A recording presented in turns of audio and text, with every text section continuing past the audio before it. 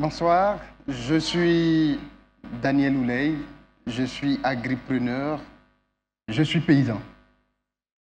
Je vis à l'ouest de la Côte d'Ivoire dans, une euh, commune rurale qui s'appelle Danané. Et là-bas, je cultive la terre et j'élève des porcs. J'avais préparé des slides pour vous aujourd'hui, mais en montant sur scène, j'ai décidé de vous parler avec le cœur.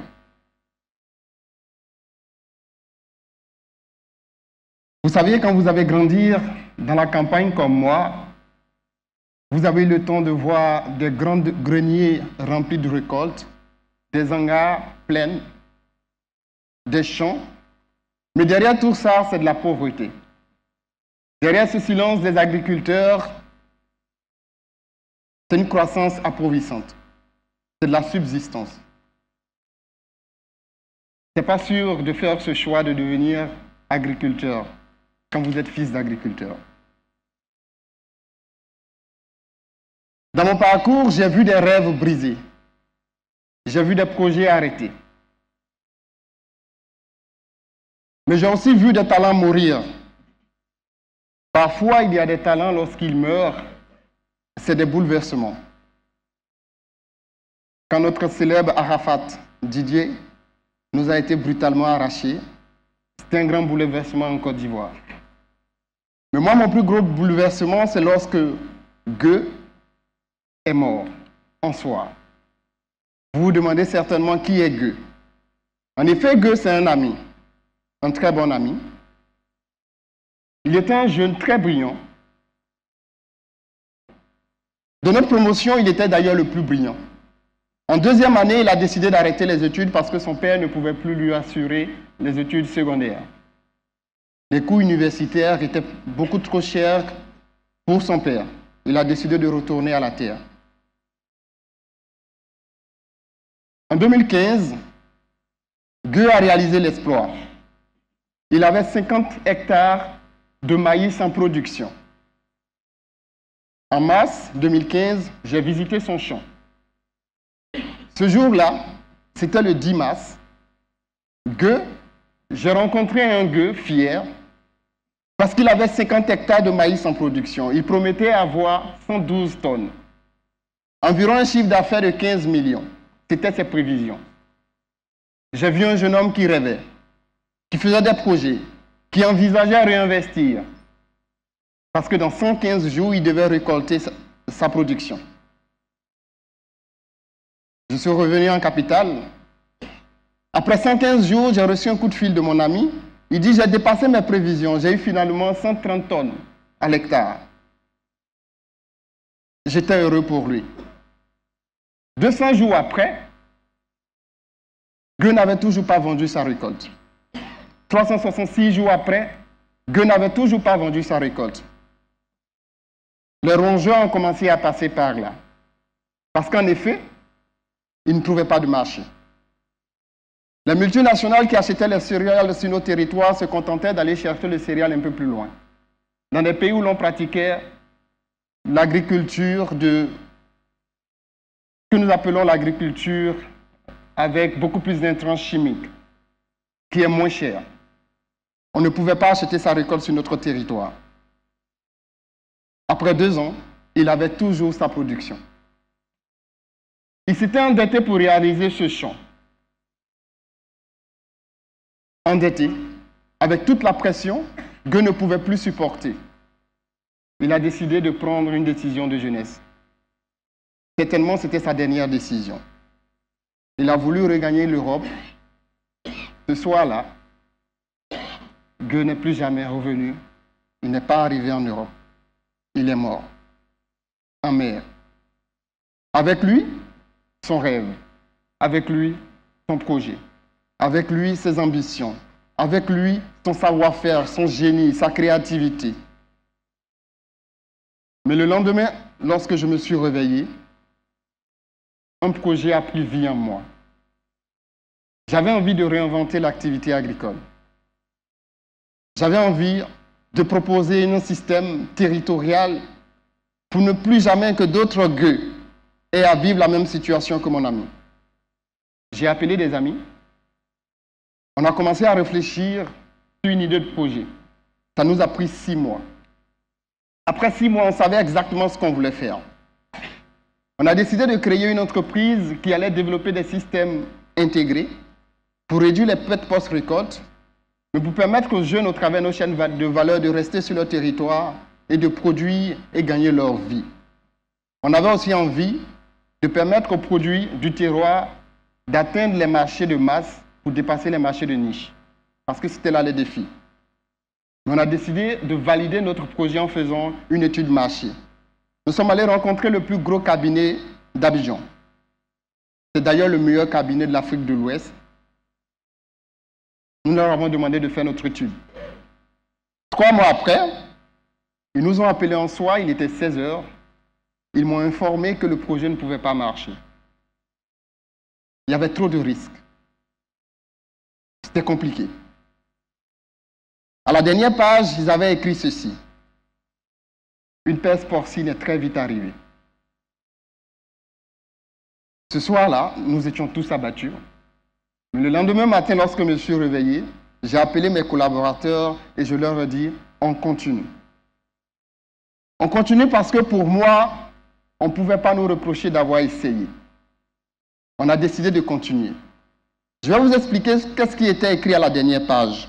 En effet, dans notre système intégré, on avait décidé d'ouvrir un moulin, un moulin communautaire qui allait valoriser et transformer tous les invendus de céréales sur notre territoire en aliments pour le bétail. Et de l'autre côté, on avait envie de, de, faire émerger un nouveau marché pour les aliments. Donc créer une ferme d'élevage de 10 000 têtes de porc pour consommer la quasi-totalité des aliments qui allaient sortir de notre moulin. C'était ça le modèle. Parce qu'en Côte d'Ivoire, c'est 800 000 tonnes de porc qui est importé chaque année, soit 4,5 milliards. C'est un chiffre d'affaires énorme qu'on investissait dans l'importation. On avait envie de se positionner sur ce marché. Mais notre étude disait qu'une pète porcine est très vite arrivée. En réalité, c'était un secteur réservé, protégé. La géopolitique agricole était passée par là. Personne ne devait toucher à ça, parce qu'une peste porcine était très vite arrivée. J'ai dit aux amis, dans ma tête, il y a une phrase qui résonnait. C'était derrière chaque difficulté, c'est une opportunité d'affaires. Alors il faut trouver l'opportunité, mais nous n'allons pas arrêter. On a décidé de transformer notre ferme initiale qui devait produire les 10 000 têtes de porc en une ferme incubateur. Nous sommes allés à l'ouest, on a sélectionné 100 jeunes qui avaient envie de se lancer, mais qui recherchaient, qui attendaient juste une opportunité. On les a reçus sur notre ferme, on les a formés gratuitement aux techniques d'élevage que nous voulions, et on leur a remis des semences gratuitement pour qu'ils puissent s'installer. Un an après, on avait 100 fermes. Et sur ces 100 fermes, le cheptel minimum était 100 têtes. 100 fois 100, 10 000. En un an, nous avions le résultat que nous recherchions pour lancer notre chaîne de distribution. On a décidé de partager l'économie, de partager les risques. En effet, si une peste porcine est très vite arrivée, nous ne serons pas plus les seuls à assumer.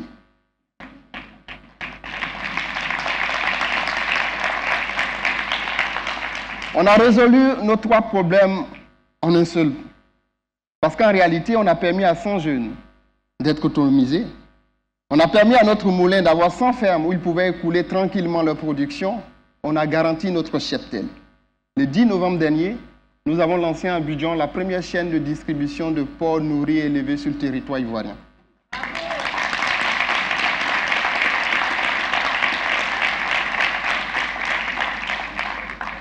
Mais comment sommes-nous arrivés là? Je vais juste vous demander de m'écouter avec le cœur. C'est la raison pour laquelle j'ai décidé de ne pas vous faire passer des slides. Un roi devait mourir et ce roi n'avait pas d'enfant mâle.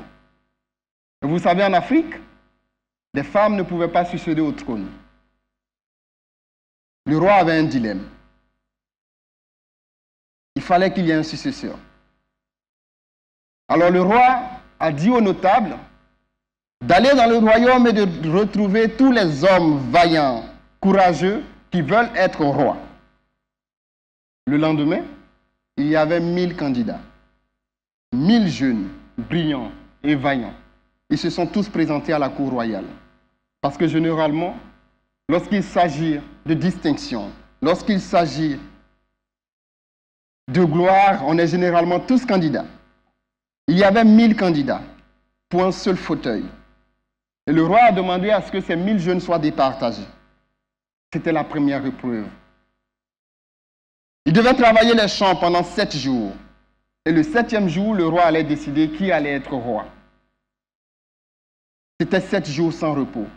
Le soleil était au zénith. À la fin du troisième jour, il y avait seulement 500 personnes dans le champ. À la fin du septième jour, il y avait seulement 100 personnes dans le champ.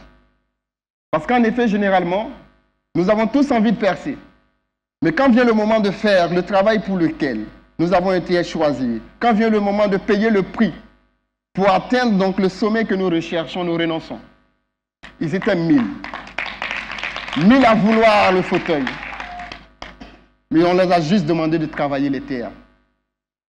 À la fin du septième jour, il y avait 100 personnes dans le champ. 900 sont rentrés chez eux parce qu'ils ne voulaient pas travailler. Mais le roi avait besoin d'une seule personne. Alors c'était la deuxième épreuve. Ce que je devais déjà vous dire, pour ma part, notre première épreuve, c'était notre étude marché. Ça ne pouvait pas marcher. Parce qu'une peste porcine est très vite arrivée. Nous avions le choix. Arrêter ou continuer. Mais on a décidé de continuer. La deuxième épreuve, le roi a demandé aux notables et aux sages du royaume de départager les 100 jeunes. Alors les jeunes ont été invités à déchiffrer les énigmes et des proverbes. Au soir de la journée, il y avait dix jeunes dans la cour royale. Parce qu'aujourd'hui, dans le nouveau monde où nous nous trouvons, où notre intelligence sera mise à contribution parce que nous sommes dans un monde de plus en plus compétitif, le travail et le courage ne suffira pas. Il va nous falloir de l'intelligence, de l'intelligence financière, de l'intelligence économique, de l'intelligence sociale, de l'intelligence dans chaque activité, dans chaque domaine d'activité où nous nous trouvons. Il va nous falloir être brillants, plus brillants que les autres. Ce soir-là, il y avait seulement dix jeunes qui se sont démarqués des saints. Mais il y avait un seul fauteuil. Donc il fallait les départager. Pour nous, notre intelligence était de pouvoir contourner ce problème et partager les risques. Le roi est rentré dans sa case. Trente minutes après, il est sorti avec ses serviteurs avec dix pots et dix graines. Et à chaque jeune, il a remis un pot et une graine. Il leur a dit, partez et revenez sept jours après avec des plans, et je vous dirai qui sera le roi. C'était l'épreuve, l'ultime épreuve. Parmi eux, il y avait un jeune qui s'appelait Dan. Dan était un enfant, était le fils d'un ingénieur agronome. Donc l'épreuve était censée gagner pour lui. Arrivé à la maison, Dan a semé la graine dans le pot. Pour nous qui sommes agriculteurs, après deux jours et demi, la graine est censée germer, une graine de maïs. Après trois jours, la graine de dent n'avait pas du tout germé. Il y a problème. Ses amis ont commencé à conseiller à Adam de changer sa graine, parce qu'il y a quelque chose qui n'allait pas. Mais Dan avait une éducation noble. Il ne voulait pas tricher. Après quatre jours, sa mère est venue dans sa chambre. Sa mère lui a dit, mon fils, l'éducation dont tu parles, c'est moi qui t'ai donné. Mais ce soir-là, il s'agit de royauté. Maman te demande de tricher une seule fois. Dan a dit à sa mère, maman, je pense que quand tu me donnais cette éducation, tu avais toutes tes facultés. Mais aujourd'hui, maman, tu es juste, juste un peu, juste un peu corrompu. Il a refusé de tricher. Le septième jour, courageusement, il s'est présenté à la cour royale avec un pot vide. Les neuf autres jeunes hommes avaient des plants de maïs.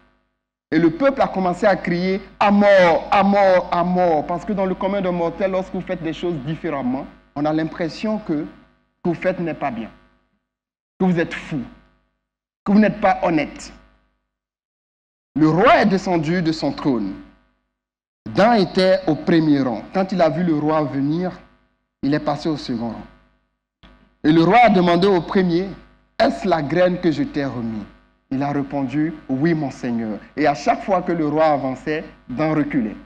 Finalement, le roi était en face de la dixième personne. Il s'est mis à genoux, il a commencé à pleurer.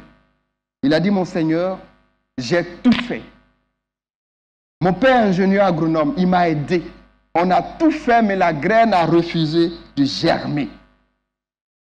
Le roi est retourné sur son trône et il a dit au peuple, c'est ce jeune qui mérite d'être roi.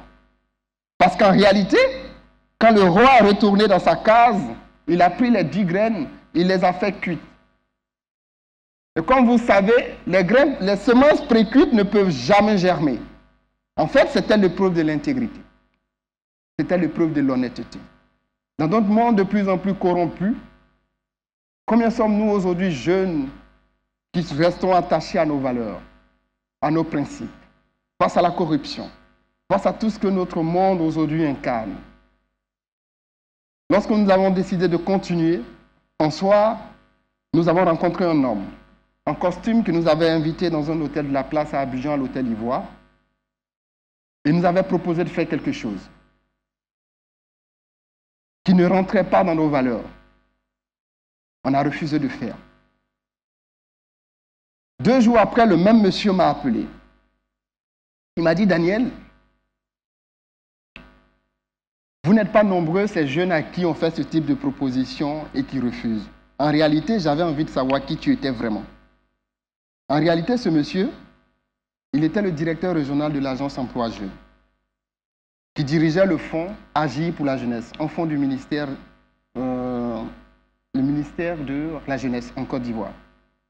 La semaine qui a suivi, mon entreprise venait de signer un contrat, l'un des contrats les plus importants de notre entreprise pour permettre à 1000 jeunes en Côte d'Ivoire d'intégrer nos chaînes de valeur. Simplement parce que nous étions restés attachés à nos valeurs. Ce que je voulais vous dire pour conclure, c'est que pour ma part, pour percer, il faut trois choses. Lesquelles? Le travail, l'intelligence et l'intégrité. Je vous remercie.